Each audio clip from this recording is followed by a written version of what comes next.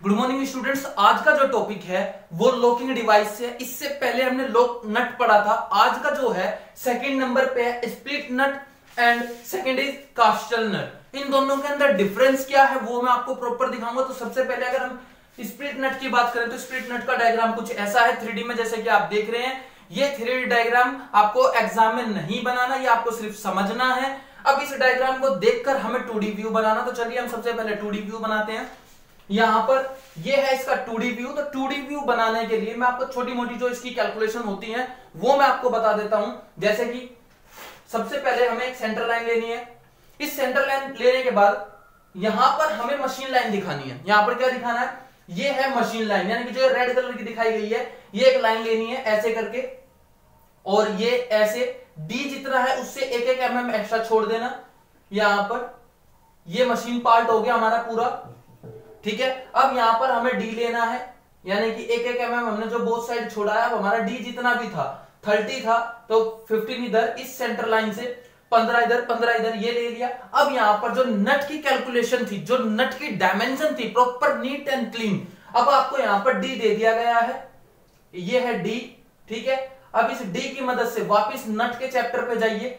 वापस नट के चैप्टर पे जाकर इसकी पूरी की पूरी डायमेंशन निकालिए और ये नट बनाइए।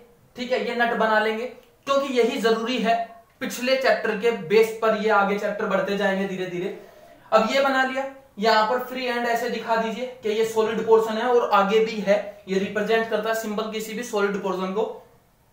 अब यहाँ पर जब हमने ये नट है और ये बोल्ट डाला है तो बोल्ट थोड़ा बहुत बाहर भी आएगा।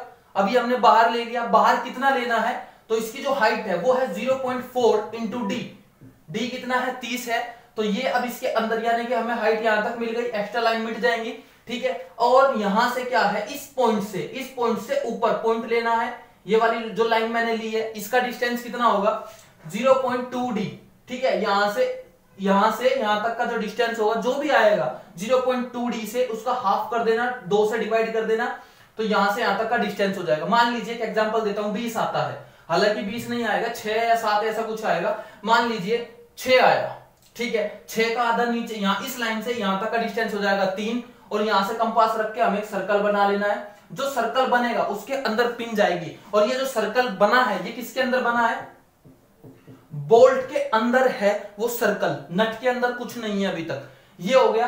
इसी के बेस पे हमें हेक्सागोनल बनाना है। अब डी कितना रखना है? डी यहाँ पर जो हमें मिला है पिन का जो ये डाया है, वो कितना मिला है? सिक्स मिला है ज़ीरो पॉइंट टू डी करने पे जो भी कोई कैलकुलेशन आती है वो ले लेना, वो यहाँ पर आ जाएगा, यहाँ से यहाँ तक का डिस्टेंस क्या होगा? आपको एक डेढ़ एम एम उधर लेना है डेढ़ एम एम इधर लेना है, या दो एम एम इधर लेना है, या दो एम एम इधर लेना है, वो डिपेंड करता है आपके बनाने के ऊपर, क्योंकि पिन जो है पिन का साइज़ अलग अलग होता है। छोटे के लिए छोटे यूज़ के लिए छोटी पिन आती है, बड़ी चीज़ के लिए बड़ी पिन आती है तो इसको हम पिन को एज्यूम कर सकते हैं अपनी मर्ज़ी से। आई होप आपको समझ में आ रहा होगा। तो ये है स्प्लिट नट इसका डायग्राम आपको कुछ कुछ ऐसे बनाना है। अगर हम बात करें कैस्टल नट की। तो मैं इसका डायग्राम आपको दिखा देता हूँ। यहाँ पर इसको रफ कर देते हैं। तो यहाँ पर क्या है? सबसे पहले हम कैस्टल नट का थ्री डायग्राम देख लेते हैं। तो ये हमारा थ्री डायग्राम हो गया कैस्टल नट का। आपकी स्क्रीन पे है।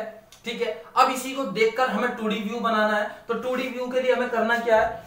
सबसे पहले हमें डायमेंशन पता होनी चाहिए कि डायमेंशन कितनी है। जैसे कि जो ये इसके अंदर स्लोट बने होते हैं, इस स्लोट का डिस्टेंस होता है zero point three into D तो ये इसका डिस्टेंस हो गया यहाँ से यहाँ तक का स्लोट तक का, और इससे ऊपर पोर्शन से इस कॉलर तक का। इस कॉलर तक का डिस्टेंस होता है zero point four into D अब डी जो भी है वो क्वेश्चन में पुट करते चलना। अब ये कहता है कि जो नट का डिस्टेंस लोअर पोर्शन से, यानी कि बेस से और टॉप तक कितना डिस्टेंस होना चाहिए, वो होना चाहिए 1.2 पॉइंट टू इंटू डी यानी कि 1.2 पॉइंट टू इंटू तीस। अब जो भी आएगा सामने तो टोटल हाइट ये होनी चाहिए। उस हाइट के अंदर ये होना चाहिए इतना और ये होना चाहिए अंदर की तरफ़। तो टोटल अब इसको हम कैसे लेंगे? मान लीजिए टोटल आ गया हमारा छत्तीस। छत्तीस ले लिया, ये आ गया पाँच। तो हमने ये पाँच ले लिया और नीचे वाला आ गया छह तो ये छह ले लिया। अब इसके अंदर हमें क्या करना जो हमारा डी है नट बनाएँगे उसी के बेस पे, ऐसे करते हुए, अब हमें यहाँ पर ऐसे ये बना लेना है। इसी के अंदर ये हमारा प्रॉपर नीट एंड क्लीन आना चाहिए। ठीक है? डी हमारा तीस है और यहाँ पर ये मशीन पार्ट हो गया। ये मैंने पहले भी बताया आपको, ये मशीन पार्ट होता है, ठीक है? ये हमारा पूरा का पूरा बोल्ट हो गया यहाँ पर, या नट या स्टड हो गया। एक और चीज़ याद रहे कि जो ये पिन है, यहाँ पर भी पिन डली हुई है, इसमें भी पिन डली हुई है। दोनों में डिफरेंस क्या है? इसकी जो पिन है, इसकी जो पिन है स्प्लिट नट की, वो बोल्ट के अंदर है। किसके अंदर है? बोल्ट के अंदर। और इसकी जो पिन है कैस्टल नट की जो पिन है माय डियर स्टूडेंट वो बोल्ट में तो है ही है। बोल्ट में तो है, क्योंकि उसमें भी छेद है। होल है, आर पार होल है। साथ साथ वो सबसे पहले जाती है कैस्टल नट के अंदर से। तो कैस्टल नट स्लोटेड होता है, जैसा कि थ्री डायग्राम में मैंने आपको पहले भी दिखाया था, ठीक है? उसके अंदर स्लोट से होता हुआ जाता है। इन दोनों में डिफरेंस समझ में आ गया? इसके अंदर, इसके नट के अंदर नहीं है। नट से ऊपर रहेगा, टच रहेगा पर नट के। ये क्या? नट के टच भी रहेगा और बोल्ट के अंदर से पास होके जाएगा, होल के थ्रू। अब यहाँ पर सेम जितना डी है, उसी के बेस पे आप यहाँ पर हेक्सागोनल बना लेंगे। One two three four five six upper portion दोनों।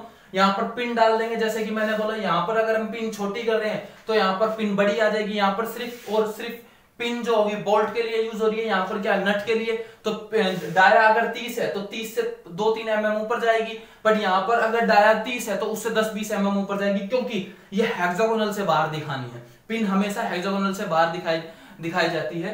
ठीक है? तो ये आपके सामने था कैस्टल नट का डायग्राम ये दोनों आपको शीट पर बनाना है। याद रहे माय डियर स्टूडेंट जितने पिछले चैप्टर हैं, जितने भी पिछले चैप्टर हैं, अगर आप उन पर फोकस करते हैं, जैसे कि नट थ्रेड्स अगर इन पर आपने अच्छे से फोकस किया तो आगे आने वाले चैप्टर सब इन्हीं के बेस पे टच है। यानी कि अगर जैसे देखो, इस चैप्टर में बार बार हमें नट की ज़रूरत पड़ रही है तो आगे चल के बोल्ट की भी ज़रूरत पड़ेगी। बोल्ट का भी आपको कैलकुलेशन पता होनी चाहिए। तो जितने भी इनके डायमेंशन है, अगर आपको ये याद है तो आगे आने वाले और सारे चैप्टर हमारे कंप्लीट होते जाएँगे। आज, जैसे हमने पिछली वीडियो में फोर चैप्टर स्टार्ट किया, आज भी हमारा फोर चैप्टर चल रहा है। आगे भी अभी चार पाँच वीडियो में और फोर चैप्टर चलेगा, क्योंकि थोड़ा लेंदी है।